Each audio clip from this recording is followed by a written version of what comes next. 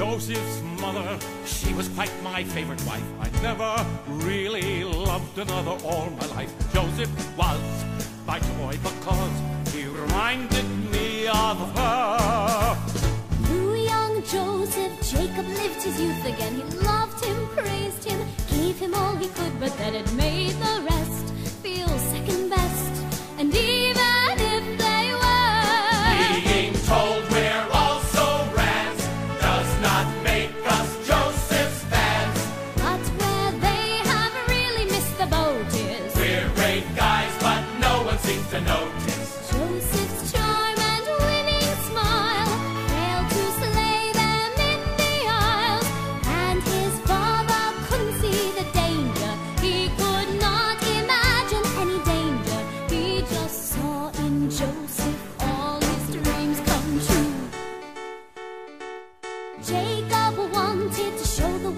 12 to son to make it clear that Joseph was the special one. So Jacob bought his son a coat.